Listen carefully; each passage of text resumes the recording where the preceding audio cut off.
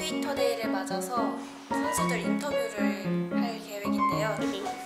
어 이거 병원한다 이런 말 모릅니다 때. 김재환 선수가 사인할 유니폼과 볼은 이거예요. 여기 앉으실 거예요. 네, 이분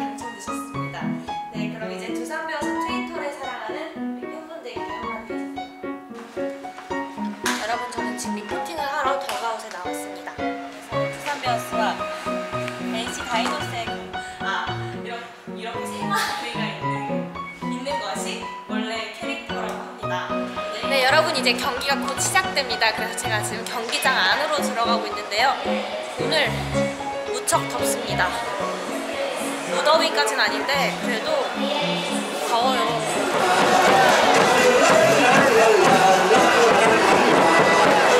응원석에서는 보였지만 오늘도 두산 베어스 멋지게 승리할 수 있게 응원 좀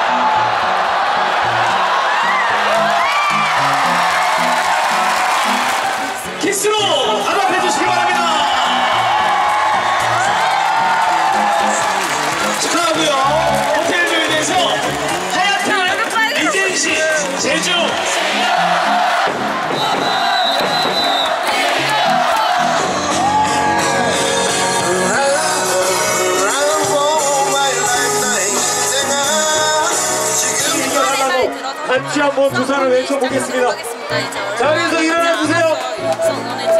아, 오늘은 되게 잘 일어나시네요.